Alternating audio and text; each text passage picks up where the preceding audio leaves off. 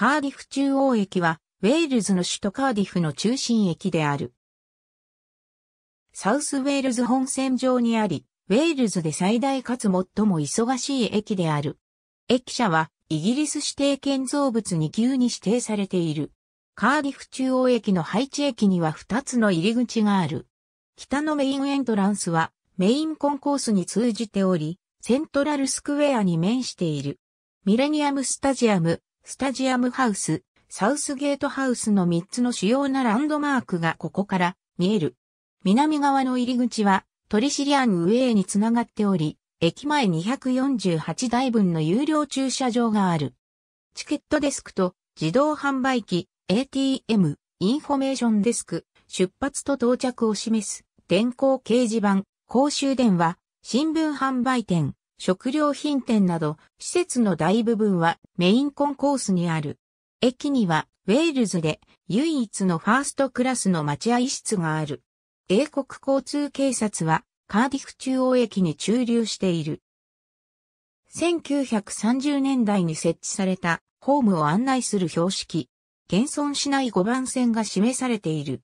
南口カーディフ中央駅には8つのプラットフォームがあり、北から順に0、1、2、3A、B、4A、B、6、7、8の番号が付けられている。2番線と3番線の間には、プラットフォームがない通過線が2本存在する。ただし、カーディフ中央駅を経由する定期旅客列車全列車が当駅に停車する。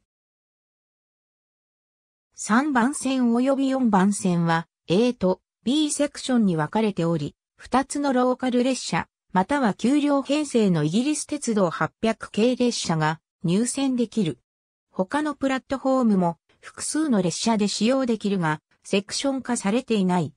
5番線は以前は3、4番線の西側に切り欠き機、ホームとして存在していたが、1960年代に撤去された。現在は看板の表示として残っている。0番線は駅の北側にある短いプラットフォームであり、1999年に増設された。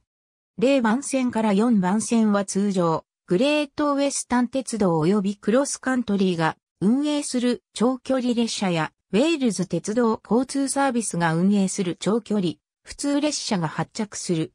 その行き先には、ロンドンパディントン、ブリストルテンプルミーズ、バーミンガムニューストリート、マンチェスターピカデリー、スウォンジー、ミルフォードヘイブンやウェールズ北部方面等が含まれる。6番線から8番線は、カーディフクイーンストリート駅、カーディフ北部、サウスウェールズバレーズ、ベールオブグラモーガンを結ぶバレーラインの列車で使用される。